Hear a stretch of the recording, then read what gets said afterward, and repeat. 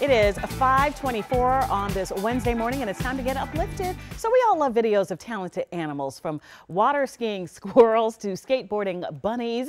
And now you can add a keyboard playing rhino. So meet Bandhu, the greater one-horned rhino. Let's listen.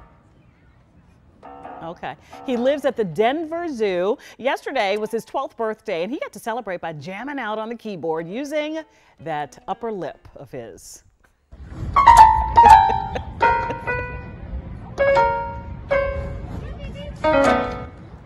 It's rather anteater-ish, don't you or agree? armadillo-ish. Oh, don't say that animal. The I don't armadillo. like it.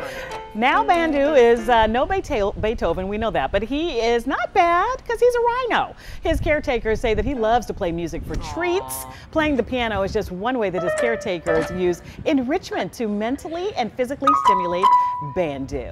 Hey, really, when you think about it, that's super cool. That is super cool. Right? I, I, I like that it benefits his emotional health. And he knows what to do. I mean, he's a rhino. He could take that one horn and just like rip that keyboard to It's shreds. It's not a horn, it's his upper lip. I know, but he could just put his head down. Oh, that oh, horn. Yeah, and just And be like, "Oh, what's keyboard." this? But instead, he chooses to play beautiful music. Aw. Thank you, Bandhu. I want to share things that uplift you as well, email like it did us. Email us at getuplifted at WUSA9.com. Reach me on Twitter, Instagram, or on our Get Up DC social pages. And as always, just join the conversation. Use the hashtag GetUpDC. Hey, do you have an animal who plays an instrument? Send us the video. Oh, yeah, Maybe yeah, they'll yeah, make yeah. it for Get Uplifted. Yeah, I love that.